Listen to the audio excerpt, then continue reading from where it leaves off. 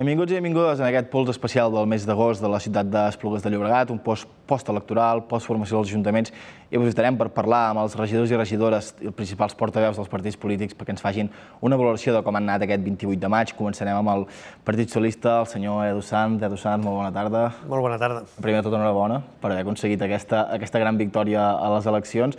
No sé com veu, si em pots explicar una mica com veu viure aquella jornada, com veu viure com avançaven els vots i que al final, amb el 100% escrutat, eh, aconseguíeu mantenir la majoria absoluta aquí a la ciutat d'Esplugues. Bé, nosaltres, eh, evidentment, doncs, molt contents, molt contents perquè eh, revalidem una majoria absoluta en aquest cas, però molt contents perquè al final no deixa de significar que hem rebut de nou la confiança i el suport de la ciutadania, que bàsicament és això, no? quan arriben les eleccions, és l'enquesta de veritat, és la definitiva, i en aquí la ciutadania torna a dir que confia en el projecte socialista, que confia en la nostra alcaldessa, Pilar Díaz, per continuar portant i liderant la, la ciutat, els canvis i els reptes que, que tenim de futur. Per tant, doncs, home, no, no deixes de sentir-te satisfet, perquè vol dir probablement que la feina que has fet durant els anys anteriors doncs, ha estat bona feina i ha estat reconeguda per la ciutadania i, per tant, doncs, satisfets des d'aquest punt de vista i, com deia, per tornar a comptar amb la confiança de, de la, gruix de la ciutadania. No? Sense deixar de banda, sempre ho diem, que eh, sabem que, doncs, que hi ha ciutadans i ciutadanes que han votat altres opcions, altres formacions polítiques, i al final el consistori el formem tots i totes, els 21 regidors. No?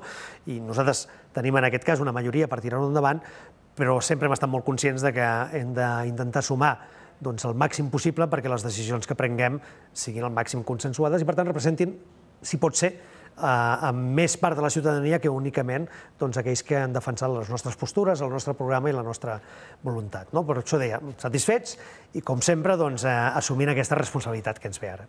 Des de que va arribar la democràcia, eh, el Partit Socialista ha guanyat, ha governat a la ciutat d'Esplugues de Llobregat. L'actual alcaldessa Pilar Díaz, des de l'any 2006, que és eh, alcaldessa d'Esplugues, si acaba el mandat serà fins al 2027. Com s'ha per aconseguir tants anys de mantenir un govern municipal a, a una ciutat com Esplugues de Llobregat? Bé, jo crec que és feina ben feta, feina ben feta i proximitat, no? És a dir, al final, en un ajuntament, a una ciutat, encara que sigui una ciutat com la nostra, aquesta proximitat des del punt de vista d'entendre, no? d'apropar-te a les problemàtiques quotidianes dels veïns i veïnes, és el que fa molt, no? És, és el poder atendre una cosa que per, per, per nosaltres o per al gruix de la ciutat pot ser una cosa menor, perquè hi veí o perquè hi ha veïna en qüestió doncs és una cosa molt important en aquell moment. No? I per tant, doncs, aquesta proximitat és, és molt important. I després, tenir un projecte clar, tenir un model de ciutat on volem anar a parar, on volem portar aquesta ciutat i treballar en aquesta línia sense, sense perdre'ns, no? sinó amb un horitzó amb un horitzó clar. Jo crec que aquest és eh, l'èxit de la feina que hem desenvolupat, però a més a més som molt conscients de que la ciutadania doncs, és molt responsable quan emet el seu vot i quan dona aquesta continuïtat al projecte socialista. I ho dic perquè tenim exemples d'altres municipis en els quals doncs, han variat i, per tant, han canviat els governs i han vingut altres. No? Bueno, això significa que probablement doncs, en aquells, aquelles ciutats on, on han canviat els governs, doncs, precisament la gent no ha estat satisfeta amb el resultat del govern que hi havia en aquell moment i han optat per fer un canvi. Eh, som molt conscients de que la ciutadania té aquesta responsabilitat i aquesta capacitat de dir, escolta, no funciona i per tant canviarem. Si portem tots aquests anys, jo crec que avala que, que hem fet una bona feina, que hem fet una bona feina i que, com sempre, segur que cometem errors, segur que es pot fer millor, de ben segur, però que en tot cas la ciutadania ho valora de forma satisfactòria i per tant continua confiant, dipositant la confiança amb el projecte socialista Esplugues perquè portem endavant aquesta ciutat. Tenen majoria absoluta, això vol dir que al final entre cometes, perquè ens entengui la gent, diguéssim, es podria fer el que vostès volguessin, però m'ha comentat que vostès el que volen és parlar també amb els altres grups polítics. Es mostren oberts, per tant, a que altres partits polítics presentin les seves propostes, vostès les acceptin, i d'aquesta manera que no hi hagi un govern que podria ser tancat, perquè tenen majoria absoluta i al final vostès podrien, vostès manen al final, però vostès volen també que els altres membres dels altres partits participin en aquest govern, en aquesta legislatura. Bueno, nosaltres ho hem fet sempre eh, i, i crec que ho hem demostrat especialment en els grans acords. Eh? Quan ara la legislatura anterior vam passar la pandèmia, doncs eh, vam sempre consensuar les mesures que com a govern municipal podíem prendre i les vam consensuar amb la resta de partits i especialment doncs, eh, l'acord marc que vam pactar amb el resta de grups de la, del consistori i també amb, amb els agents socials i econòmics per la que seria la recuperació de la ciutat, no? eh, passada aquest context i, i els ajuts que havien d'afrontar i com havíem de tirar endavant. No? Jo crec que hi ha grans elements de ciutat que hem de comptar amb, amb totes les forces polítiques perquè al final aquells acords que prenguem, no, aquelles decisions, doncs voldrà dir que en un futur es mantindran, perquè som consensuades d'una forma més àmplia. No? I sempre ha estat la nostra voluntat. És veritat que nosaltres apel·lem també en aquest sentit als grups de l'oposició a que formin part d'aquesta voluntat, perquè moltes vegades, com que el govern té una majoria, no, doncs l'oposició eh, també tendeix a, a no participar tant o no voler participar tant no? i, i, i dedicar-se a una part que també els hi pertoca, que és la fiscalització del govern i de l'acció de govern. No? Però nosaltres sempre els convidem a, a, a participar, encara que nosaltres tenim majoria per decidir el que vulguem fer, sempre entenem que eh, aportar o millorar les propostes que portem als plenaris o que hem de prendre, doncs enriquirà aquella proposta. I nosaltres sempre els convidem a, a, a no de, de, de retraure's d'aquesta possibilitat que tenen per, per poder millorar o no, o, o no assumir directament les decisions del govern. No? Bueno, jo crec que és una feina de tots i totes, però nosaltres estem convençuts que, que seria una fórmula molt més enriquidora per a la ciutat si consensuem projectes que no si els hem de decidir eh, per nosaltres sols, que evidentment si ho hem de fer ho farem, però, però esperem que no sigui així. No sé si hi ha algun tema um, que vostès tenien marcat que quan han entrat ara, que han format el govern, han repartit cartipàs municipal, que vostès diguessin ens hem de posar immediatament en això o simplement han anat desgranant amb, amb diferents temes i si em pot comentar de forma breu quins són aquests primers temes on vostès s'han posat a treballar. Bueno, el primer que hem de fer és eh, posar-nos a, a, a formular precisament el pla d'acció, que, que en altres ocasions hem anomenat pla d'actuació municipal, doncs de cara als quatre anys de legislatura. El que sempre eh, crec que és important és poder planificar allò que anem a desenvolupar, perquè ens permetrà després fer-ho també econòmicament i, per tant, veure els pressupostos que hem d'aprovar, quines són les inversions que volem realitzar, i que, evidentment, estarà basat en el programa electoral amb el que ens hem presentat, però també amb les aportacions d'altres grups, i el primer que hem de fer és planificar. Però és veritat que eh, en els reptes que tenim ara eh, per endavant hi ha algunes qüestions que, que la ciutadania en els últims mesos, també durant la campanya, ens ha posat molt de relleu. I, per exemple, un tema que pensem que és capital i que hem d'encetar tot just començar la legislatura és el tema de la salut o el tema sanitari. Tenim deficiències no?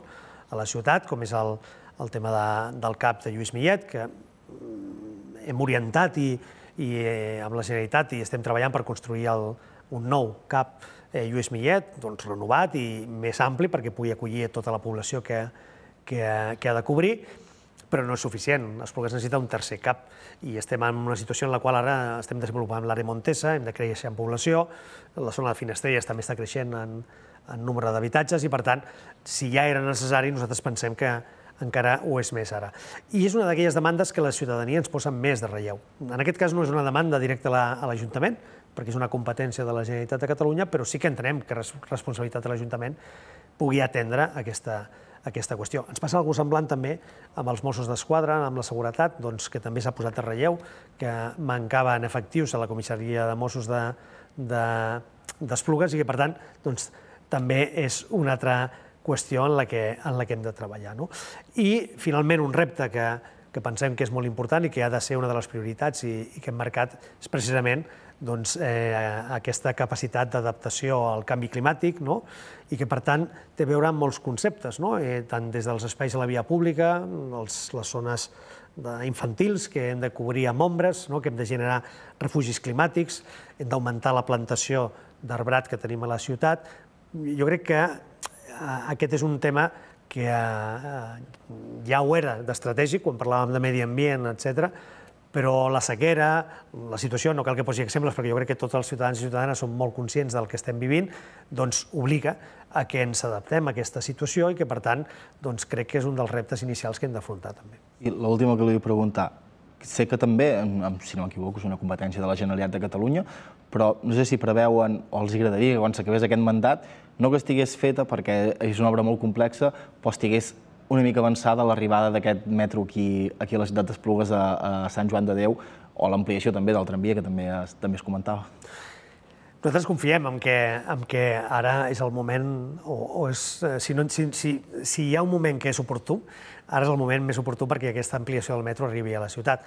I ho diem perquè ho hem reivindicat sempre, s'ha fet el projecte executiu, per tant, estem en una situació en la qual es podria finançar per part de la Generalitat aquesta obra i començar-la, i és una gran obra i que, per tant, trigarà uns anys en desenvolupar-se, però és veritat que amb l'arribada del clínic, del, de l'Hospital Clínic, a, a, tot just a, a l'entrada de Barcelona, on actualment estan les pistes universitàries de la, de la Universitat de Barcelona, doncs eh, necessitarà també una estació de metro, i això ens dona una oportunitat, com deia, eh, si, si el moment oportú segurament és ara, una oportunitat a que aquesta infraestructura s'avanci, que d'una vegada doncs, pugui tenir aquestes dues estacions a, a Esplugues.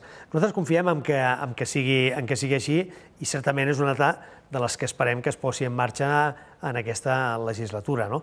Mm, comentava coses que depenen de la, de la Generalitat, però com deia abans, doncs, també és el nostre paper reivindicar-les i que arribin a ser una realitat.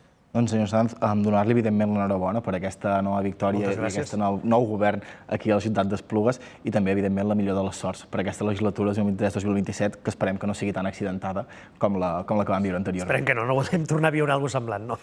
Gràcies. gràcies.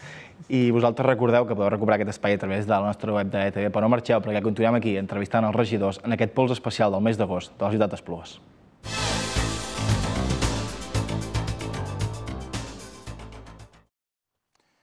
Continuem aquí en aquest pols especial de la ciutat d'Esplugues del mes d'agost. Tenim ara nosaltres el que, el que és el cap de l'oposició, el senyor Roger Martínez d'Esquerra Republicana. Roger, molt bona tarda. Bona tarda.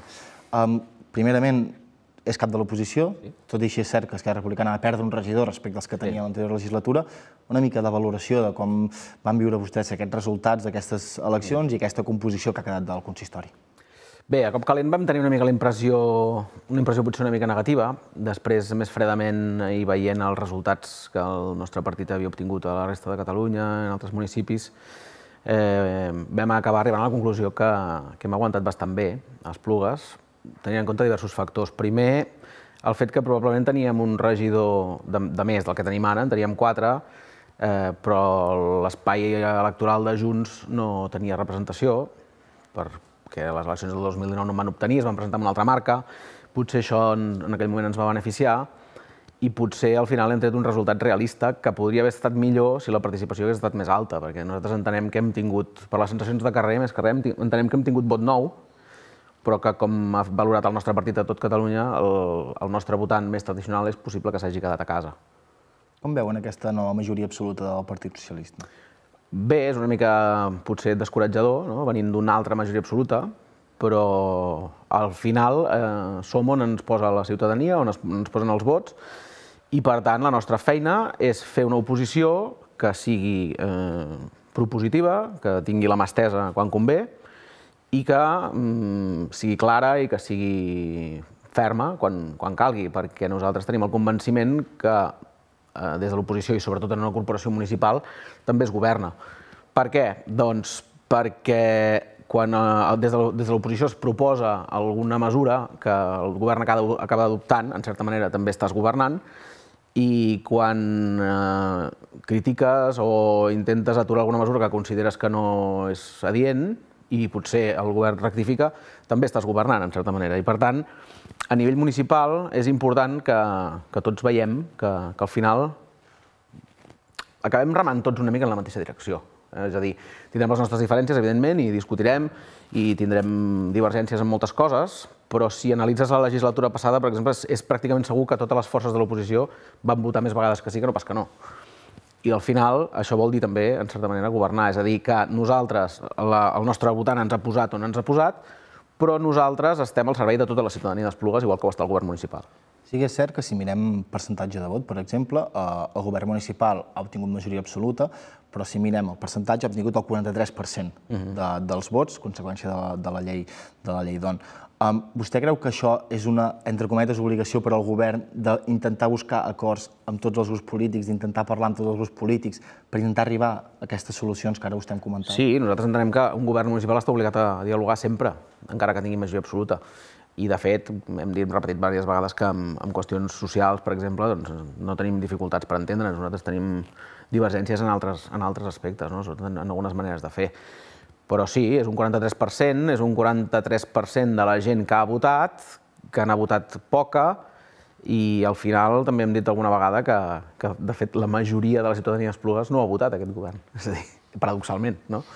Tot i que això no vol dir que no acceptem, evidentment, el, el resultat, perquè és el que cal fer, no? Què seria el primer que li demanaria o que els agradaria a vostès fer, que creuen que és absolutament imprescindible aquí a la ciutat d'Esplugues de Llobregat? Nosaltres insistim en la gestió cultural. Tenim uns espais nous, que, un, un que, ja, que ja està en marxa, que és l'Espai Corberó, i d'altres que estan per venir, i que han de ser gestionats amb molta cura, amb molta professionalitat, i que han de ser gestionats de, de cara a la ciutadania d'Esplugues i, de, i pensant també eh, en l'entorn. És a dir, crec, creiem que Esplugues s'ha d'obrir al seu entorn. Són veïns de Barcelona, són veïns de l'Hospitalet, són veïns de Cornellà.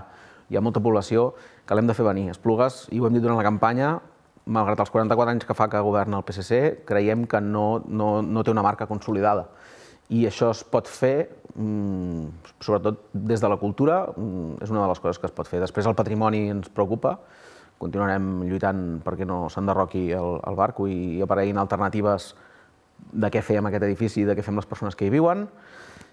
Memòria històrica, hi ha moltes actuacions a fer en memòria històrica, i és a dir, aquests són eixos que nosaltres hem, hem treballat molt, i que considerem que, que cal continuar treballant. És a dir, és una, és una mica la, la, la nostra marca també. Eh? Confien en que s'acabi d'una vegada tirant endavant el tema de l'auditori?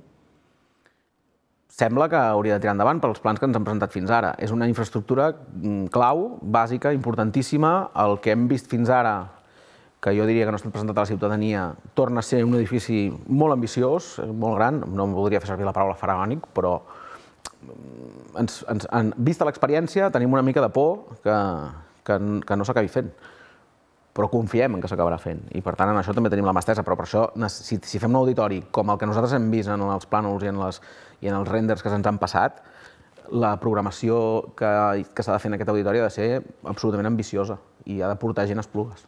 Per què diu que la programació que es fa, si els planos són correctes, la programació ha de ser completament... La programació cultural, és a dir, el contingut. El que, el que es faci després de dintre l'auditori ha d'estar a l'alçada d'aquest auditori, és a dir, no vull dir que no, que no hi hagi, actualment ha molta, molta, molta, molta activitat cultural als diferents espais d'esplugues que són molt limitats que no es pugui portar allà, però a més a més després jo crec que s'ha de fer, eh, han de venir, eh, no sé, orquestres importants, han de venir companyies de teatre importants que ens han d'incloure en les seves gires, és a dir, que Esplugues ha de començar a ser una mica un centre cultural del Baix Llobregat i, i, i, de, i del veïnatge de Barcelona també, de l'àrea metropolitana en definitiva. Ja per acabar, li vull preguntar per, per altres temes importants. S'ha parlat molt durant, durant la campanya d'arribades de, de, del transport públic, mm. la famosa arribada del metro, de, del nou CAP, de, de la millora també, de, de la seguretat, tema comissaria, tema policia local. Mm -hmm. Què li reclamaran vostès al govern municipal referent a aquests tres eixos i si, en el cas de que la seva proposta els agradi, estaran al costat del govern municipal si s'ha d'anar, per exemple, a la Generalitat de Catalunya a demanar sí. inversions? Sí, i ho hem fet, de fet, i nosaltres hem, hem, ho hem dit i ho hem fet. És a dir, nosaltres hem contactat amb, amb les persones que són del nostre partit i que tracten en aquests àmbits, i al govern municipal el que li demanem és diàleg amb la Generalitat i potser una mica menys de, d'electoralisme i, de, i de propaganda, perquè cada vegada que es parla d'aquests temes apareix el, el tema de la Generalitat, la Generalitat, la Generalitat, correcte, molt bé, que cadascú faci, que cadascú compleixi els seus, les seves atribucions, però fem-ho una mica des del diàleg, esperem que passin les eleccions, esperem que passi aquest ambient electoral i que les coses es facin des de l'àmbit més administratiu i potser menys polític, menys polític en el sentit mm, de campanya i que,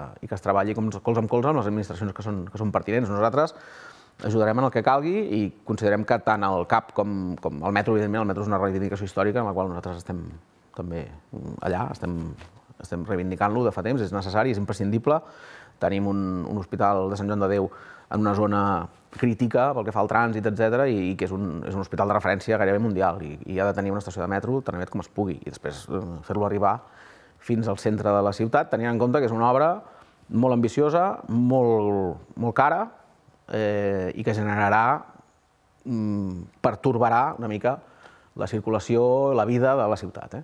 Ja per acabar, l'última, ha comentat el, el, la baixada que ha tingut el seu partit en general, no, mm -hmm. només, a, no només aquí Esplugues, els motius pel qual vostè m'ha comentat que, que, que han baixat, aquesta falta del votant tradicional de, mm -hmm. de mhm. tota la vida, potser, confia que això queda molt lluny, perquè queden encara 4 anys i 4 anys poden passar mm. moltes coses, però també en realitat a la vegada passen molt, molt de pressa.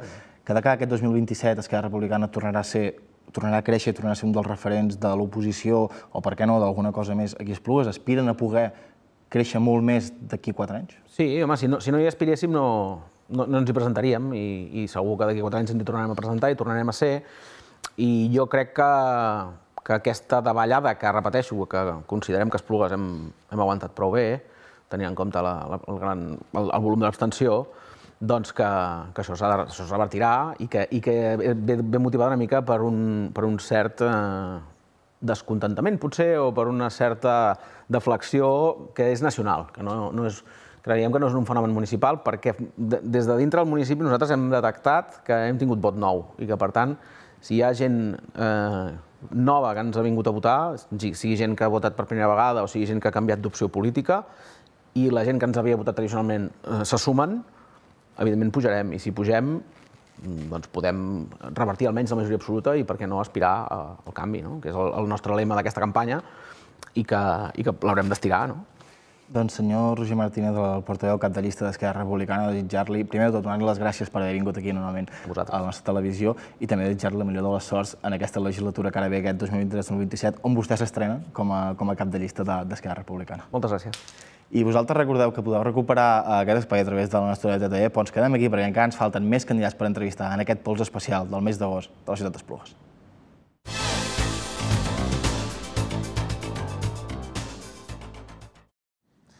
Ens continuem aquí en aquest pols de la ciutat especial de, del mes d'agost i en aquest cas anem a la tercera força política de l'Ajuntament d'Esplugues, la segona força que estarà a l'oposició, Partit Popular encapçalat per Marcos Sánchez. Bona tarda. Molt bona tarda. Comentim una mica com va ser aquesta, aquestes eleccions, com valoren aquest resultat que van aconseguir aquests tres regidors obtinguts a l'Ajuntament d'Esplugues? Bueno, doncs, eh, és una sensació mixta, híbrida. Eh, estem satisfets pel resultat obtingut, hem estat la força municipal que més ha crescut, eh, hem triplicat el número de regidors, hem duplicat el número de vots, per tant estem satisfets, però ambicionem molt més i per tant, eh, més enllà de que finalment ens vam quedar a 31 vots, em penso que va ser de, ser, de no ser segona força política a la ciutat, nosaltres eh, no és que esperem a tenir dos o tres o quatre regidors, sinó que esperem a tenir molt més i això és feina, feina, feina, pico i pala, com acostumo a dir, i eh, constància i per tant doncs, eh, continuarem amb la línia eh, de treball que hem fet fins ara, aquests darrers quatre anys, que jo penso que ens ha funcionat i ens ha funcionat bé, però volem més i per tant ambicionem molt més. Imagino que en aquesta um, sensació mixta agridolça també hi entra la majoria absoluta que va obtenir el Partit Socialista, que vostès, com la majoria de grups, sempre comentaven durant la campanya que una majoria absoluta en una ciutat durant gaire temps no és bona. En aquest sentit, imagino que tenen, tenen també aquesta sensació. Bueno, això tampoc ho vam dir, eh? Jo amb això intento ser bastant curós, perquè al final eh, és la ciutadania la que lliurement eh, vota i otorga majories, en aquest cas, eh, majories absolutes al PSC. No? I per tant, aquí eh, jo em sento directament interpel·lat també pel resultat de la majoria absoluta del PSC perquè al final criticar-la és molt fàcil, aconseguir-la és molt complex i per tant els hi felicito, però en qualsevol cas això és culpa dels que no governem, que no hem estat capaços d'oferir un projecte alternatiu al del PSC i que la gent s'hi senti interpel·lat per aquest projecte i digui doncs mira, aquesta proposta que fa el PP m'agrada i per tant renuncio a votar el que he votat els darrers 40 i pico anys per votar el candidat del PP. Això ens ha passat una miqueta perquè hem aconseguit uns resultats eh, que són bons, però òbviament no ha servit eh, per guanyar les eleccions i per tant hem de continuar i hem de perseverar i és el que farem. Quina serà l'acció dintre d'aquesta legislatura de, del seu grup, del Partit Popular, dintre l'Ajuntament, amb aquests regidors i, evidentment, estan eh, formant part de, de l'oposició. Com serà aquesta acció en aquests quatre anys?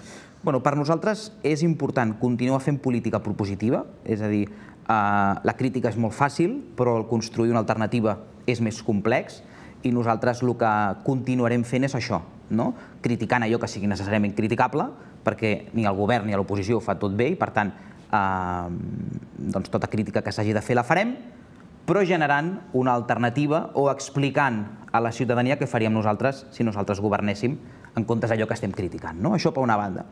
I després, aquesta ciutat, ho hem explicat en els darrers quatre anys, té reptes molt importants, eh, té reptes de futur que necessàriament ha d'abordar, i tots ells no depenen única i exclusivament de l'Ajuntament. No? I per tant, per nosaltres també és molt important eh, amb altres institucions eh, de l'Estat eh, i, i, de, i, de, i de Catalunya que Esplugues tingui veu pròpia. I per tant, que es pugui transmetre directament eh, aquestes necessitats, aquestes inquietuds eh, o aquests reptes que té la ciutat. No? Per això per nosaltres és molt important que el nostre, que el nostre regidor, l'Agustín Parra, sigui candidat al Congrés i que tingui possibilitats reals de, de que Esplugues estigui representada directament al Congrés dels Diputats, perquè hi ha grans reptes, especialment amb la mobilitat, eh, que estan relacionats directament i que en depenen directament del Congrés dels Diputats. Per nosaltres és molt important que la nostra regidora Espanya Mora estigui al Consell Comarcal i estarà al Consell Comarcal, perquè hi ha altres elements molt importants que afecten directament a la vida de la gent d'Esplugues que depenen del Consell Comarcal i, per tant, aquesta també serà una altra actuació de la, del nostre grup municipal. És a dir, eh, estar presents allà on es prenen les decisions. I per això per nosaltres és importantíssim que Esplugues tingui un diputat nacional, que Esplugues tingui una consellera comarcal i, mentrestant, doncs, continuar fent la feina pròpia a l'Ajuntament. Uh, es va comentar durant la campanya les diverses coses que tant vostè com diversos grups polítics deien que li faltava Esplugues, un dels termes sempre recurrents, que fins i tot, entre cometes, vostès em deien que ja no tenien esperança, no dic vostès el Partit Popular, dic en general l'oposició, era el tema de l'auditori, que vostè sempre l'havien criticat uh -huh. molt, el tema de l'auditori, el tema de les obres. Sembla ser, segons ha dit el govern municipal, que aquest tema finalitzarà finalment en aquesta legislatura. Tenen confiança que així sigui, que aquesta legislatura finalment Esplugues pugui tenir l'auditori com està planejat? Bueno, algun, algun dia, o sigui, aquesta promesa algun dia es complirà, òbviament, no? i cada dia estem més a prop de que aquesta promesa es compleixi. No? Eh, portem pràcticament 15 anys amb un forat a la plaça Catalunya, que és el cor de la nostra ciutat, eh, i cada 3-4 anys van dient que això ja s'acaba, doncs bueno, m'imagino que aquesta vegada tenim sort, no? Um, jo, penso que, jo, penso que, jo penso que sí. No només per la voluntat del govern, sinó també perquè el govern coneix quina és la posició, almenys, d'aquest portaveu i d'aquest grup de l'oposició. I, per tant, amb aquest tema nosaltres serem absolutament inflexibles i exercirem una oposició eh, absolutament eh, fiscalitzadora i amb l'objectiu de que això no es demori molt, molt més. Confia que el govern, tot i tenir aquests 11 regidors, aquesta majoria absoluta, que com vostè ha dit, li ha atorgat a la ciutadania d'Esplugues, però tot i així parli amb els grups de l'oposició, escolti les propostes que vostès tenen i en cas de que siguin bones per Esplugues no tinguin problemes en dir aquesta proposta del senyor Marcos Sánchez és positiva, l'afegim? Jo espero que sí. Jo espero que sí, però això no depèn, no depèn del PP, depèn, de, depèn del govern, no? I, malauradament, els antecedents ens indiquen que quan el PSC té majoria absoluta es comporta d'una manera i fins i tot vota d'una manera i quan el PSC perd la majoria absoluta es comporta d'una manera i vota d'una altra manera. Fins i tot el darrer ple ordinari de l'anterior legislatura es va sotmetre a votació una moció que anys enrere ja s'havia sotmès a votació i el PSC va votar al contrari del que havia votat quan tenia majoria absoluta. Per tant, bueno, jo espero que sí, i espero que, que, que el PSC governi en solitari. A nosaltres eh, ens va inquietar, anava a dir preocupar, però tampoc, ens va inquietar eh, l'anunci que es va fer al ple d'investidura de que estaven negociant amb En Comú Podem entre el govern, entre altres coses perquè penso que el projecte de ciutat no només que en Comú Podem i el Partit Popular Esplugues tenim és substancialment diferent, sinó que realment penso que el projecte que defensa el PSC d'Esplugues i el projecte que defensa en Comú Podem Esplugues és substancialment diferent i per tant penso que seria un mal govern per la ciutat. No? Òbviament, amb aquests eh, invents de polítics nosaltres no hi participarem. I per tant, jo estic eh, esperançat de que finalment el PSC governi en solitari, que al final és el que li ha mandatat al conjunt de la ciutadania, i si hi ha una actitud receptiva i, i d'escolta activa, doncs nosaltres participarem d'una manera propositiva, per suposat. Ja per acabar, senyor, senyor Sánchez, li vull preguntar, eh, el seu partit no només a la comarca del Baix Llobregat, sinó a tot Catalunya, ha augmentat moltíssim els vots.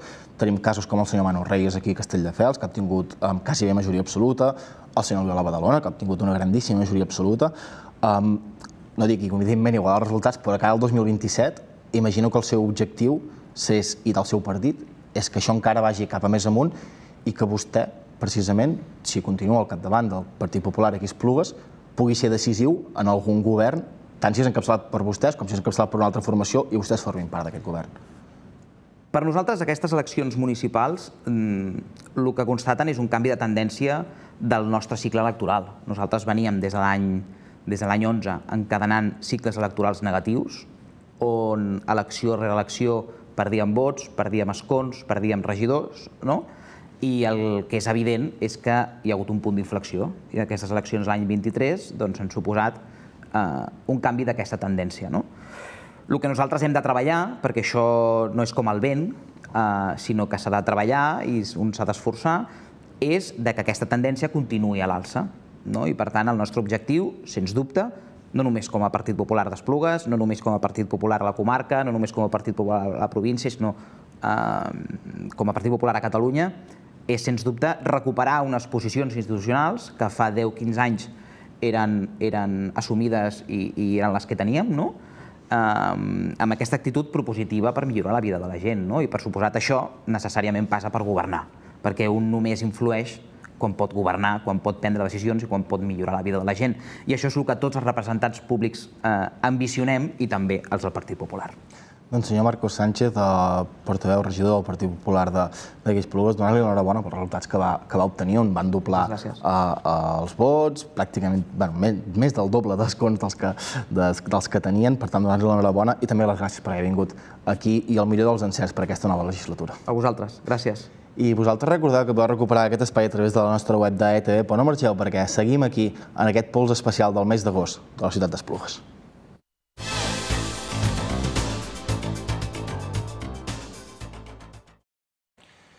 Seguim aquí al pols especial de la ciutat d'Esplugues de Llobregat d'aquest mes d'agost. Estem ara amb el candidat, el portaveu, el cap de llista d'en Comú Podem, el senyor Jordi Pérez. Jordi Pérez, molt bona tarda. Molt bona tarda.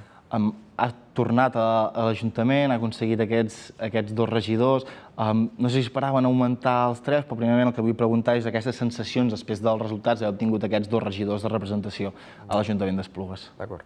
Bueno, primer de tot jo voldria agrair a tota la gent que ens ha votat, els 1.538 vots, em sembla que és, que ens ha votat i que ens han donat, tornat a donar confiança i també donar i agrair a tota la gent que ens ha ajudat a fer la campanya. Això és el primer. Eh, quina valoració fem o què és la, la nostra perspectiva? Home, sí que és veritat que, que hi ha sigut unes, unes eleccions una mica estranyes també, perquè hi ha hagut un molt, molt enrenou fora d'aquí, no? Creiem que, que el tema de, bueno, de, de, la, de la campanya de por o, o d'antisanchisme que s'està fent, no? Des de totes les televisions públiques, jo crec que s'ha afectat una mica, perquè de fet, eh, no si es parlés d'economia, per exemple, a nivell de l'Estat, jo crec que s'ha fet molta feina, i nosaltres aquí dintre de l'Ajuntament jo crec que hem fet molta feina en les mocions i, les, i tot el que hem proposat, però sí que és veritat que en això, i en, el tema de... hem patit una mica, és veritat, i després en el tema jo crec també d'allò de, de si surts de casa, t'ocupen la casa i tot aquest tipus de, de temàtiques, jo crec que nosaltres ens han anat una mica en contra. Això és evident perquè, perquè sí que és veritat que nosaltres tenim un, sentiment agridols, perquè sí que hem conservat els dos regidors. La nostra perspectiva, veritablement, i hem de ser, i soc sincer, i així ho vaig dir al, ple d'investidura. Bueno, Eh, de que, de que nosaltres pensàvem que podrien arribar a tenir tres, perquè es van quedar 40 vots només de, de les, del tercer les últimes eleccions, i jo crec que havien fet molt bona feina i tenien l'empuje, com, com es diu, de, de, de tot el que s'estava fent a Madrid i, que eren, i a Barcelona, que era una formació que ja demostrava que podia governar i que la gent podia viure millor, i es van quedar, es van, es van quedar dos. Llavors, volien créixer i, i, i veritablement és, és una mica decebuts, però per altra banda també mirant el que ha posat al voltant de les poblacions del, no, del nostre voltant, doncs, que han baixat, Castelldefels ha baixat, ha baixat Sant Feliu, fins i tot havien governat allà i han tingut una baixada, també Santa Coloma han desaparegut, per exemple, tinguin un bon, un bon company, no? un, bon, un bon electe, doncs, mm, bueno, està bastant bé, és a dir, aguantem el 2% de vots i està bastant bé. Això és una part. L'altra part és el reflexe que té això al ple. No? Hi ha dues coses que no volien també que passés, a part d'augmentar la, la, la, el número de regidors, que era que el PSC no tornés a tenir majoria absoluta, perquè porten 40 anys a l'Ajuntament i hi ha inèrcies i és molt difícil treballar en un ajuntament que té una majoria, perquè, clar, ho tenen molt fàcil, és el seu discurs. Tu pots sempre, són oberts a escoltar-te el que els interessa, però evidentment no és el més, el més fàcil per, per, fer, per fer política. I la segona cosa, evidentment, era que no volien que, que entrés Vox. Això també ho hem dit clarament, creiem que és una formació política que no respecta els drets de molta gent, no? els drets humans eh, mm, molt justet, no? altra gent els diu antifeixistes o altres diu jo aquí no entraré, perquè cadascú es definirà en, en les coses, bueno, que ja s'estan definint, però evidentment és una formació d'ultradreta que nosaltres no volíem que entrés. Llavors, aquestes dues coses que també s'havien proposat que no passessin, han passat. Què serà la- l'actuació de, del seu grup, de vostè, d'en Comú Podem, durant aquests quatre anys que venen d'aquest 2023-2027? Què és el que farem? bueno, el posicionament, el posicionament ara és, és com, com vam fer anteriorment, és fer una posició ferma al PSC, però també, sobretot, una, una posició que aporti, aporti solucions a la ciutat. I això és el que nosaltres intentarem des de, des de totes les vessants. Per altra part, eh, això serà a nivell institucional. Nosaltres també tenim una, una responsabilitat com a responsables polítics i nosaltres sí el que ens interessa molt, molt, molt és que el nostre espai polític d'exploració com poder Podem es consolidi a, a la població i pugui actuar en altres àmbits, en altres àmbits de carrer, sindicals, d'associacionisme, etc etc. Hi ha hagut algunes ciutats d'aquí al voltant de la, del costat d'Esplugues, mm. Cornellà, que està aquí al costat, Sant Boi de Llobregat, on el PSC té majoria absoluta i ha decidit fer un pacte de govern amb en Comú Podem, amb fins i tot els membres dels, de, de Comuns, per exemple, el senyor Clàudia Carmona, amb, té un càrrec de, té una regidoria, té un càrrec de regidor. Li, li hagués agradat o li agradaria que això passés aquí a Esplugues de Llobregat? Sí, dic, dic que a Cornellà ara tenen dos. Tenen dos. Ara tenen dos regidors. Eh, bueno, això és un tema de, de cultura política de, dels grups polítics que, que, conformen no, l'Ajuntament. Nosaltres sempre hem cregut que també eh, és, és bo que hi hagi una diversitat no, de, de posicionaments dintre de, de l'Ajuntament, a més quan són en algunes coses eh, afins a tu o que poden fer una bona tasca. Nosaltres, en el que dius tu de Cornellà, per exemple, Clàudia és una persona bastant formada, bastant potent, no? i que en temes, per exemple, també d'ecologisme eh, sap bastant, llavors és, és, és... tothom s'aprofita, no? s'aprofita l'Ajuntament i s'aprofita la ciutat. Llavors, el nostre posicionament, quin és?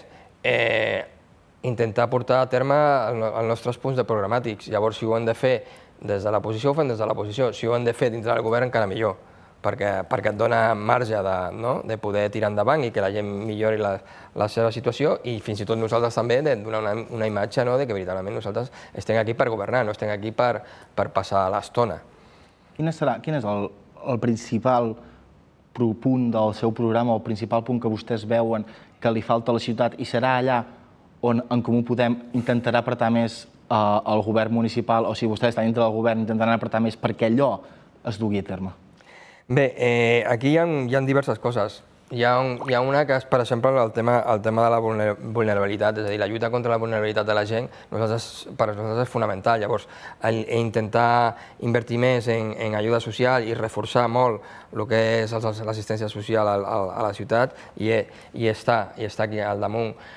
El tema de, les, de la salut bueno, i dels serveis públics, nosaltres creiem que els serveis públics que es donen a la ciutat han de ser de qualitat, han de ser el, màxim gratuïts possible, però han de ser qualitat, i no només dels serveis públics que dona l'Ajuntament, que això és evident, sinó també els que ha de donar la Generalitat o que ha de donar l'Estat. Per això nosaltres en el tema de salut ja ho hem dit bueno, profundament, i a més tenim la Lola Castro, no, que treballa en, el tema aquest dintre de, de la nostra formació política, doncs que el, tema del tercer, del tercer CAP s'ha d'estar, el tema de l'ampliació del Lluís Millers s'ha d'estar, el tema de recuperar especialitats s'ha d'estar, de la presencialitat dels metges s'ha d'estar també, el tema d'una residència pública és fonamental, el tema d'enfortir de, de, tot el que és l'atenció domiciliària per la gent gran. Per nosaltres això és bàsic. Després hi ha altres coses, el tema, per exemple, de, un dels punts sobre la taula que hi haurà aquesta legislatura, ho hem de tenir clar, és l'agenda 2030 L'agenda 2030 l'han de desenvolupar. Llavors nosaltres eh, forçarem perquè es desenvolupi el màxim possible. I en el temes, de, per exemple, d'ecologia, de, de, nosaltres també farem, farem molt d'esforç, no? el tema de la transició energètica, de les comunitats energètiques, el tema de la rehabilitació d'edificis, tot aquest, aquest, el tema de les residus que, que, que anem endarrerits, tot això és fonamental.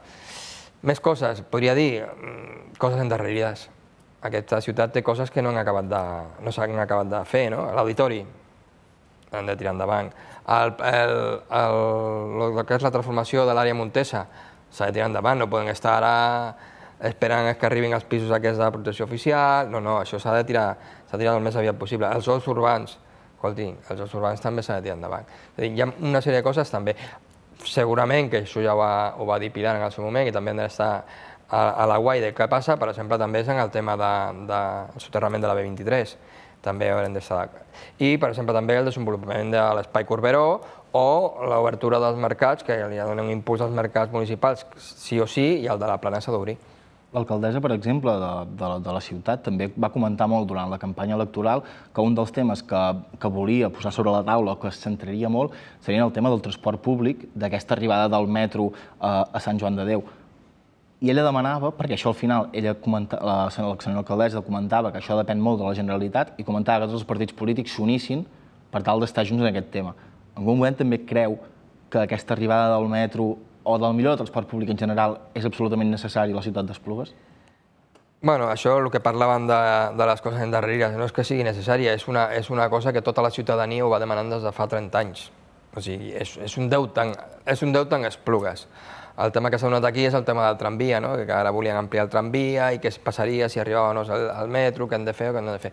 Jo, pel que el dia entès, eh, hi, ha un acord, hi ha un acord per sobre no? a la Generalitat, això és molt profund, no? el tema del pressupost i tal, perquè arribi el metro jo crec que és fonamental, és bàsic, o sigui, que arribi el metro a, a Esplugues jo crec que no s'ha de, no s'ha de deixar. I jo crec que fins i tot en els nous companys que hi ha ara, no ho sé, evidentment, els de les noves formacions que han entrat, no ho sé, però sí que és evident que en, en la resta, que ja, sempre hi ha hagut un pacte de tots els portaveus de defensar sí o sí l'arribada del metro. I ja per acabar, l'última molt ràpida que li preguntar, comentar abans que no volien que, que entrés al partit de Vox, ha aconseguit un regidor sí. de representant. Li preocupa que aquest discurs que vostès anomenen de, de la por, de, de l'odi, de, sí. de, de l'odi, s'instauri encara més aquí a la ciutat d'Esplugues? Home, jo veritablement mm, considero, perquè hi ha molta gent que també vota Vox i a vegades vota una mica despistada, també ho hem de dir, no tothom, no tothom és, és el, que, el que a vegades es reflexa, no? Però jo crec que la ciutat d'Esplugues en principi és bastant, bastant tranquil·la bastant, i la gent té bastant seny. Jo, el que passa d'aquí, i, i és veritablement en un regidor no faran res. El que fan és soroll i, i, i treure, un, treure uns diners, no? O sigui, tenen una, una finestra per, per treure les seves polítiques que, no, que jo, des del nostre punt de vista, evidentment, no són, no són bones. Però el que més em molestaria és que, és que és això, que faci massa romombori i el focus anés a parar no? en, en totes les problemàtiques o les, o les coses que es puguin dir al ple. No? I nosaltres el que ja ho vaig dir també al dia de la presentació, el que nosaltres volem és que totes les coses que es portin a ple siguin primer que, que respectin els drets humans, que respectin la, la legislació vigent i evidentment que estiguin fonamentades, que no siguin dir coses per dir-les. Doncs senyor Pérez, portaveu de Comú Podem, um, donar-li l'enhorabona per haver aconseguit mantenir aquests dos regidors de la ciutat d'Esplugues i també la millor de les sorts de cara a aquesta legislatura que ve 2017. Gràcies. I vosaltres recordeu que ens podeu seguir recuperant aquest espai a la nostra web d'ETV.cat, però continuem aquí, en aquest pols especial del mes d'agost de la ciutat d'Esplugues.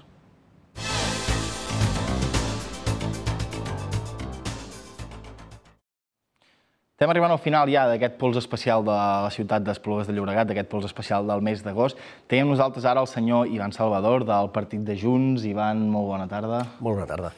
Um, Junts ha tornat a, l'Ajuntament d'Esplugues, Junts ha aconseguit un regidor a l'Ajuntament d'Esplugues. Primerament li he de preguntar per les sensacions després d'haver recuperat aquest regidor que havíem perdut anteriorment. Bueno, la veritat és que el, el, estem molt contents perquè per fi existim. No? Doncs fa quatre anys Junts no va presentar candidatura, és la primera vegada que Junts eh, s'ha presentat a les, a les eleccions municipals eh, amb un candidat mm, nou, amb una marca nova, i la veritat és que amb molta feina i des de zero eh, doncs hem aconseguit existir dins de l'Ajuntament, entrar en un regidor i per la qual ho valorem com un èxit i estem molt contents.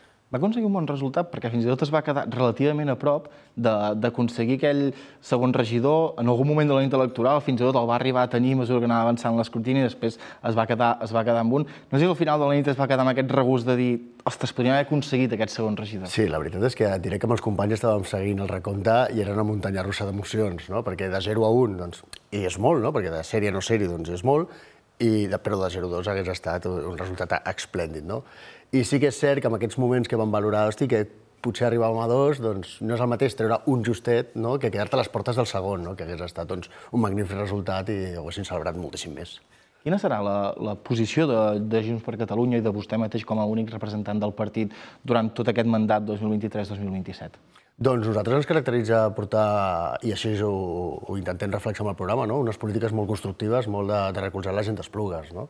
Uh, jo fins i tot, abans de ser candidat aquí d'Esplugues, la meva experiència m'ha dut a, a portar a relacions amb, amb polítics d'altres estaments, no? com a representant del comerç en la meva etapa anterior. No? I, i diguéssim que el, la nostra forma d'entendre la política és una forma constructiva i de compartir. No? O sigui, nosaltres diem que dins la, el, el programa que tinguem doncs eh, intentarem sumar tots els suports possibles. No? Intentarà fer una...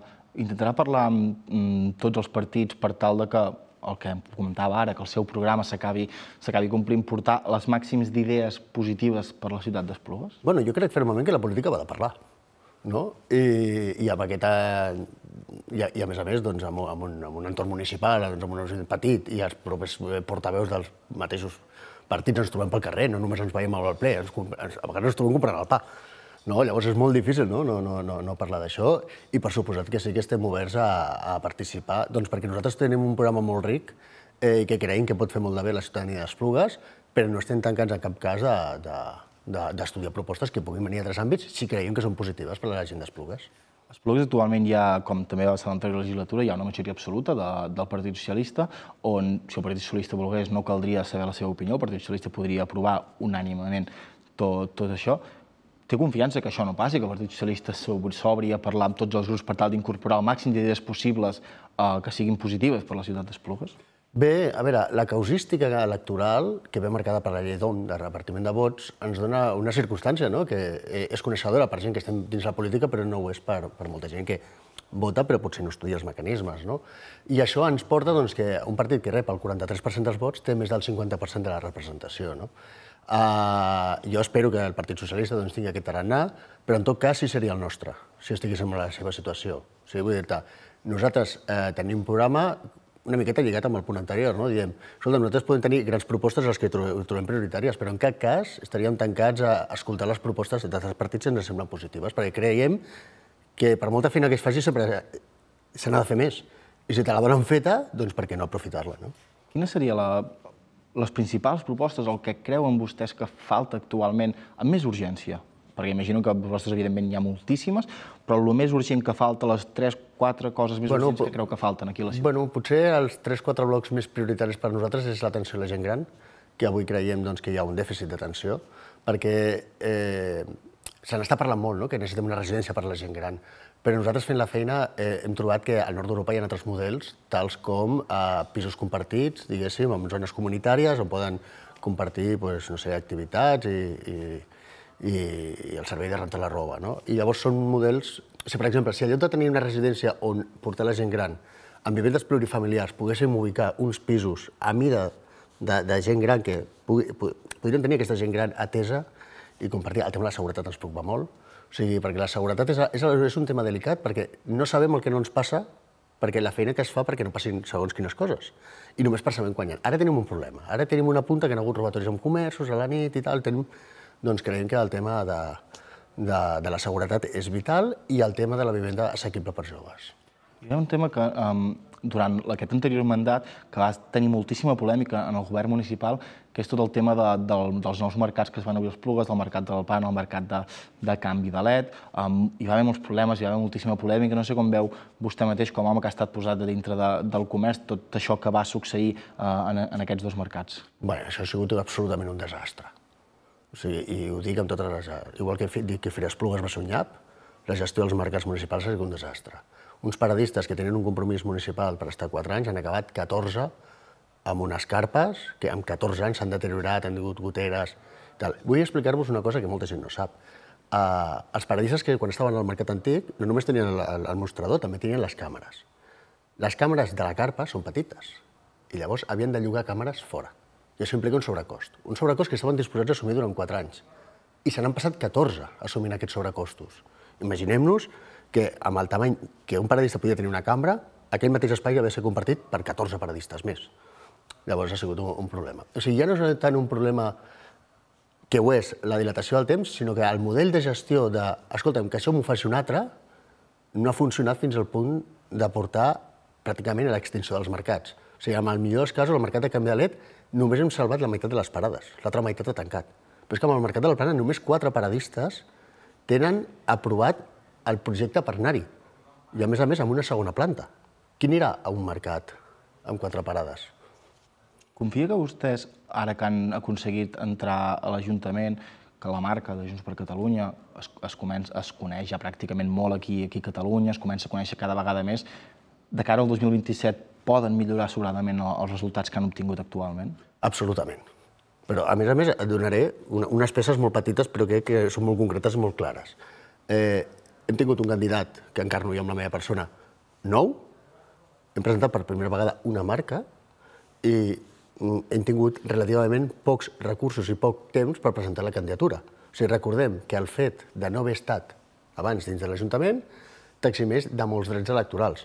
Per exemple, el debat de televisiu d'aquesta mateixa cadena, nosaltres no vam poder ser convidats per no tenir eh, representació anterior. Això, evidentment, ara és... Home, si, si en sis setmanes i pocs recursos hem aconseguit un regidor, doncs ara tenim drets electorals i quatre anys per fer la feina. De cara a aquest, a aquest Parlament que parlava amb els partits, evidentment el partit principal segueix sent el, el Partit Socialista, intentarà parlar també amb els altres grups, que és Republicana, Partit Popular, Com ho Podem, de cara a intentar consensuar entre tots eh, algunes polítiques que poden ser bones per la ciutat d'Esplugues? Sí, absolutament. I és que des del punt de vista, ja, ja més enllà de, del de, programa que fem per la ciutadania, jo crec que els grups de l'oposició compartim un element que és ser junts a l'oposició. O sigui, ens donen l'oportunitat de voler parlar moltes coses. No? Ja per acabar, l'última cosa que, que li vull preguntar, perquè és un tema que Esplugues ha sortit molt, que és el tema del transport, sobretot relacionat amb el, amb el transport públic. Uh -huh. Una situació que també des d'alguns partits, sobretot de l'oposició, s'ha queixat moltíssima gent moltíssimes vegades. Què s'hauria de fer en aquest mandat 2023-2027 relacionat amb el transport públic aquí a la ciutat d'Esplugues de Llobregat? Bé, el transport públic, eh, fins que jo tinc memòria, fa més de 20 anys que tenim assignatures pendents, com el tema de la línia 3. O sigui, tenim fet un forat fins a la Masia, i ens falta allargar-lo i passar i tal. I fins i tot fa, ja fa anys que hi ha mil milions d'euros de pressupost aprovats per fer aquesta obra i no, i no avança. No? Uh, tenim el tema del tramvia que ha de passar via Laura Miró i donar servei també a poblacions veïnes Sant Just, que per interaccions poden beneficiar aquest trànsit de persones i tal. Doncs crec que hem de començar a complir compromisos que ja fa molt de temps que esperen i no oblidant que eh, la ciutat és viva i cada dia hem d'estudiar quines millores calen. Doncs senyor Salvador, el regidor que ha obtingut Junts per Catalunya en, en aquestes eleccions, li vull donar primerament l'enhorabona per haver aconseguit recuperar eh, aquesta representació eh, a l'Ajuntament i també desitjar-li la millor de les sorts per aquesta legislatura 2023-2027 i les gràcies, evidentment, perquè ha vingut, per haver vingut aquí a la nostra cadena. Doncs moltíssimes gràcies per la televisió. I nosaltres, eh, continuem en aquest pols especial de la ciutat d'Esplugues de Llobregat, de Llobregat, on només ens queda un candidat, que és el senyor Daniel Lafuente, del partit de Vox, que també ha aconseguit entrar per primera vegada.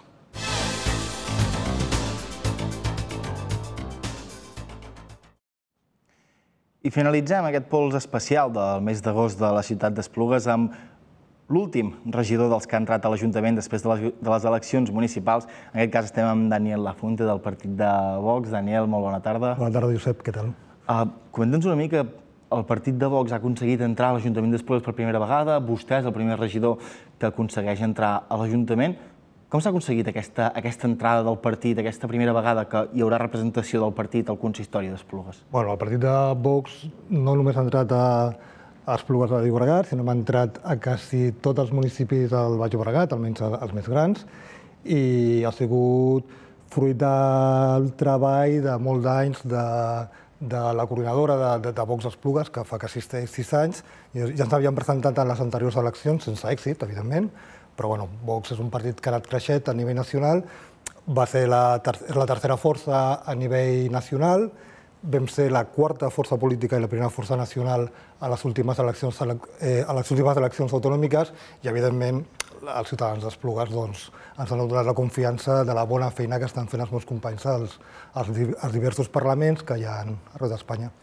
Ha entrat amb un, amb un sol regidor, evidentment vostè estarà uh, a l'oposició. Com es planteja des de Vox aquesta legislatura, aquests quatre anys, 2023-2027? Quines seran les actuacions que es faran al partit dintre de, dintre de l'Ajuntament amb el marge que ja al final tenia només, evidentment, un regidor? Bueno, nosaltres tenim clar la, quina serà la nostra política, que és el, el nostre programa polític. O sigui, nosaltres, el nostre programa polític deien que volíem cuidar les famílies, els ciutadans d'Esplugues, i nosaltres cuidarem les famílies i els ciutadans d'Esplugues. Evidentment, sabem que estem a la posició, però bueno, també és una posició molt avantatjosa perquè Vox, encara que siguem 1, 2, 3, tenim una posició, una posició bastant forta, bastant ferma. Llavors, podrem fiscalitzar quines actuacions està fent l'Ajuntament i quines podran estar fent. I aquest serà el, el nostre paper, no? l'estar allà vigilant, des del debat polític, evident que, que, que, que és bo i enriquidor, i poder aportar coses noves que fins ara no hi havia a l'Ajuntament. Li preocupa que a Esplugues hi torni a haver una, una majoria absoluta i, a més d'un partit que moltes vegades han estat a, les antítesis amb el, amb el seu, com és, per exemple, el Partit Socialista? Bueno, hem estat a les antítesis, a l'antítesis en tot el que és ideològic, però la trajectòria de Vox ens dona igual que presenti una moció al Partit Socialista, que el Partit que Esquerra Republicana o, o que qualsevol altre partit si és bo per la ciutat. O sigui, nosaltres no creiem en línies vermelles, l'hem demostrat sempre a les nostres actuacions i aquest era el, el nostre bo, el, el nostre fet, no? No, no, no ens preocupa res, no? nosaltres farem la, la nostra línia de fiscalització amb la nostra força i, i allà estarem. Parlava de línies vermelles, s'ha parlat moltes vegades, no només de l'Ajuntament d'Esplugues, anem a ampliar una mica a la comarca, als municipis d'aquí al costat, de que moltes vegades els partits diuen la línia vermella és, és el partit de Vox, la línia vermella és l'ultradreta. Um, li preocupen d'alguna manera aquest tipus de declaracions que es fan a vegades? Bon, jo, més de, de dir-li línies vermelles, que és un eufemisme, jo li diria línies antidemocràtiques. Vox ha entrat allà perquè ens ha recolzat el poble, i ja sé, això és una veritat. I tenim que tindre el nostre marge i la nostra expressió per fer les nostres polítiques.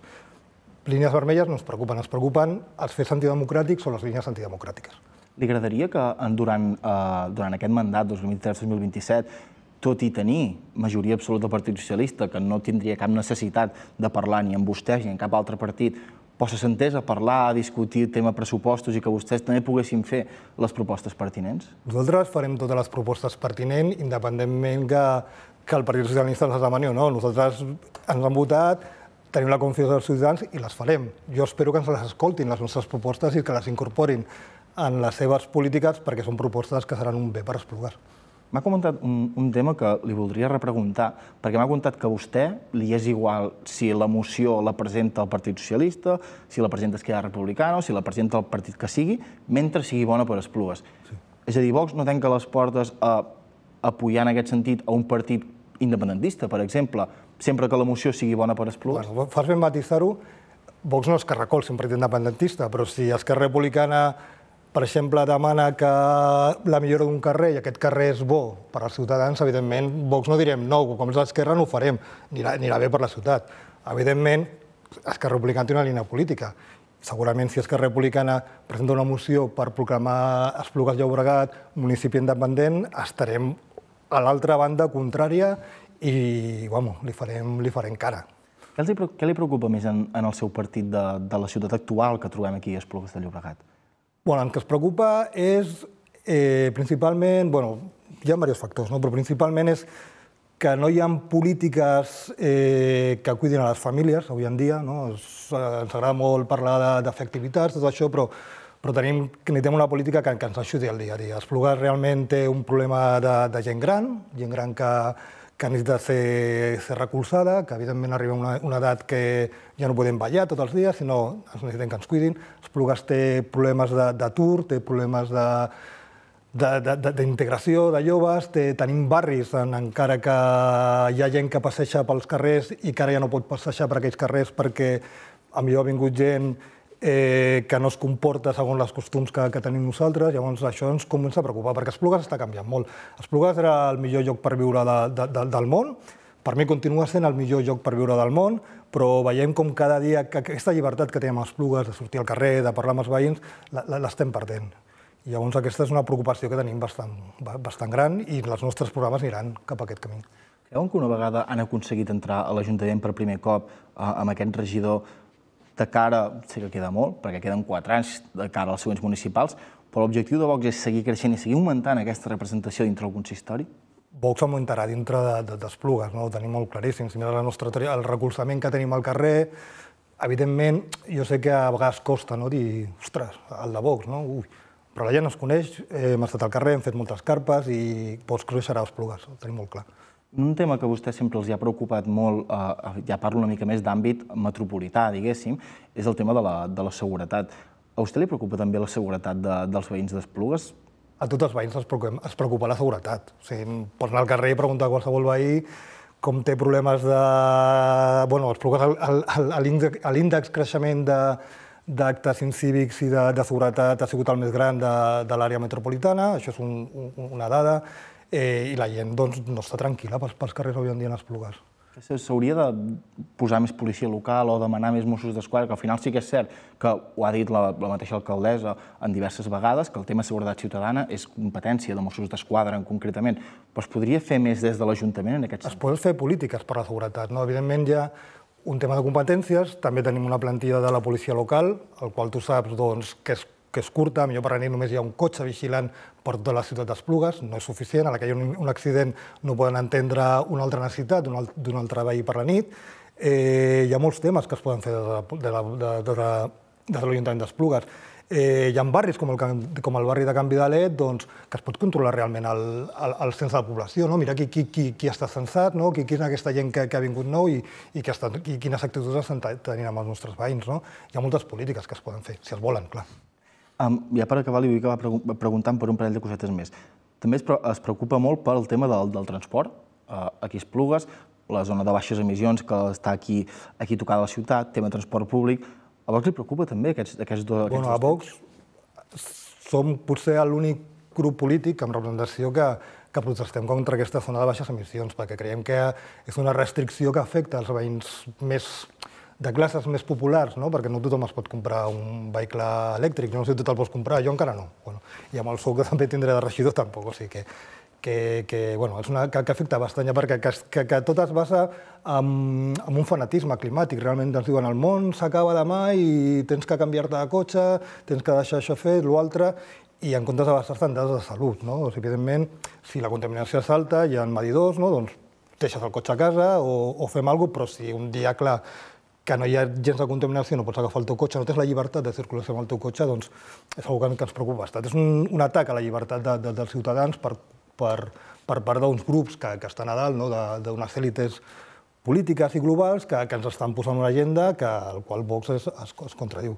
Evidentment, l'altre tema que has parlat és el transport públic. Eh, Portem els veïns d'Esplugues portem anys demanant que ens millorin el transport públic. El metro no arriba, només tenim una parada de metro, després de 20, 30 anys, 40 anys de govern socialista, només en- tenim la mateixa parada de metro que hi havia.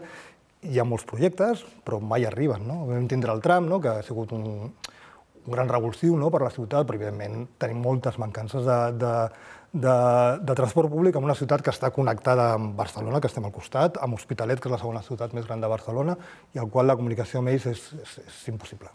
Doncs senyor Daniel Lafuente, de, del partit de Vox, donar-li l'enhorabona per haver entrat amb un regidor a l'Ajuntament d'Esplugues i també desitjar-li la millor de les sorts de cara a aquesta legislatura 2023-2027. Moltes gràcies. I vosaltres també recordar-vos que podeu recuperar aquest pols especial del mes d'agost de la ciutat d'Esplugues a través de la nostra web d'ETV. Moltíssimes gràcies i ens veiem el mes que ve en el pols del mes de setembre.